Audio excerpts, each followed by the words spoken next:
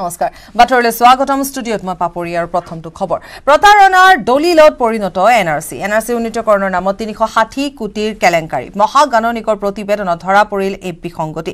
তিনিশ ষাঠি কোটি লুণ্ঠনৰ অভিযোগ প্ৰতীক হাজেলাৰ বিৰুদ্ধে। দুৰ্নীতি নিবাৰক আৰু তদাৰকী শাখাই বিচাৰিছে তদন্তৰ অনুমতি। হাজেলাৰ বিৰুদ্ধে তদন্তৰ অনুমতি দিয়া নাই গৃহ বিভাগে। হাজেলাৰ ঘনিষ্ঠ আমোলাই ফাইল গাপ দিয়াৰ অভিযোগ। মুখ্যমন্ত্ৰীৰ হস্তক্ষেপ দাবী এ পি ডব্লিউৰ অধ্যক্ষ অভিজিৎ শৰ্মাৰ।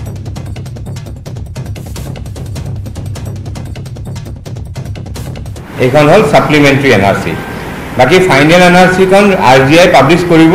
কেতিয়া পাব্লিছ কৰিব সেইটো আৰ জি আইৰ ওপৰত কথা। এন আৰ চিখনক লৈ পেলাই অসন্তুষ্টি। সন্তুষ্ট নহয় আমি আমি ধৰ্ণাত বহিছোঁ। বহুতবাৰ প্ৰেছ কনফাৰেঞ্চ দিছোঁ। দহটাকৈ কেছ চলি আছে।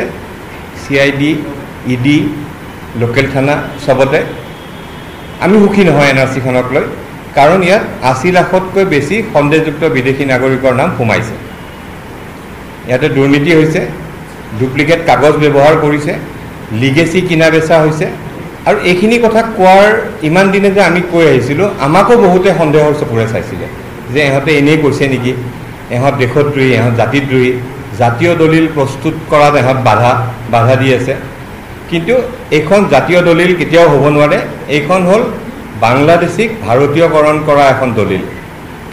আৰু এই ইয়াৰ প্ৰমাণ এই যে বিদেশী নাম সোমাইছে ডুপ্লিকেট কাগজ ব্যৱহাৰ কৰিছে লিগেচি কিনা বেচা হৈছে এইটো বৰ্তমানৰ N R C state coordinator Hitesh Dev Sarma ডাঙৰীয়াই ছুপ্ৰিম কোৰ্টত যিখন এফিডেভিট ফাইল কৰিছে সেই এফিডেভিটখনত তথ্য সহকাৰে তেখেতে জনাইছে কি কি খেলি মেলি আছে।